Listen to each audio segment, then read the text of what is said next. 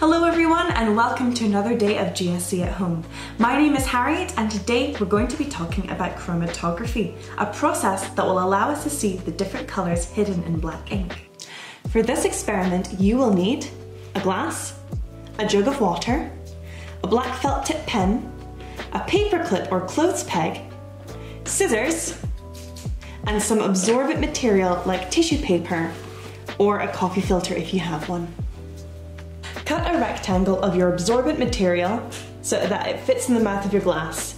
Don't worry, it doesn't need to reach the bottom of the glass, you just want your tissue paper to reach about halfway down. Take your black pen and draw a line along the width of the strip, about one inch from the bottom. Leave a small gap at each side of the paper. You may want to put a sheet of paper or a mat underneath your tissue paper to protect your table.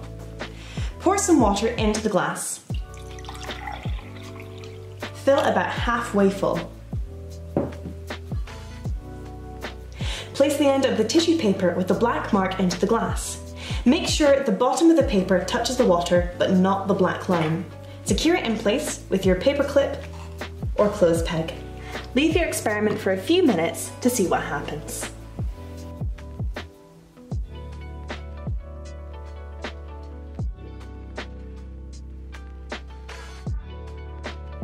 You should be able to see the ink has moved up the strip of paper and it's even starting to show some different colours. What colours can you see on your strip of paper? When we dip the paper into the water, the water travelled up due to something called capillary action. Capillary action is a process where a liquid, like water, travels up through a solid, like tissue paper. Plants use capillary action to get water and nutrients into their stalks and stems. When the water meets the dried ink, it dissolves and gets carried along with the water. Different colours are carried along at different rates, and some go faster than others. The rate each pigment is carried along at depends on its molecule size and also how strongly it's attracted to the paper. Because the water is carrying these pigments along at different rates, the blank ink then separates and shows all the colours that were used to mix it together. This technique is called chromatography, from the Greek words chroma meaning colour and graph meaning writing. If you have different coloured pens at home, why not try the experiment again with them? Are there any changes you see to the colours moving up the paper? Let us know your results in the comments down below. Thank you again for tuning in to GSC at Home.